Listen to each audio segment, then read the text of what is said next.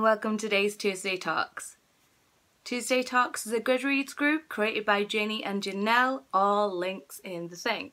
Today's Tuesday Talks discussion is Do you use other book sites other than Goodreads? There was a website I used to visit fairly often, and that was What Should I Read Next? Basically, you type in the author that you've just read or the book that you've just read, and it will give you a list of suggestions on what to read next. As you guys know, I'm very partial to my audiobooks, so Audible is a website I use quite a lot.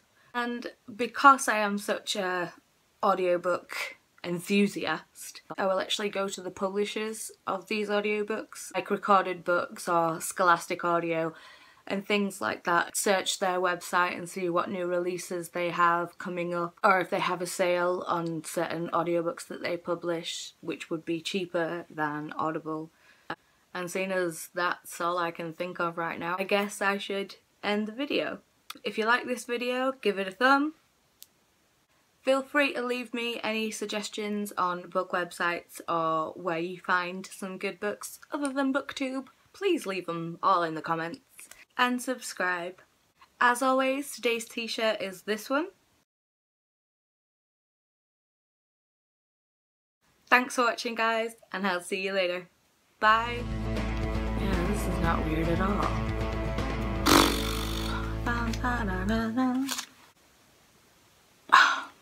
a sexy face.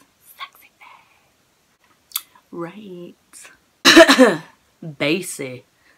Bass note. Lips, the teeth, the tip of the tongue. Something I can't remember. You visit, visit, to visit, visit the Guess we, I guess we, we, we.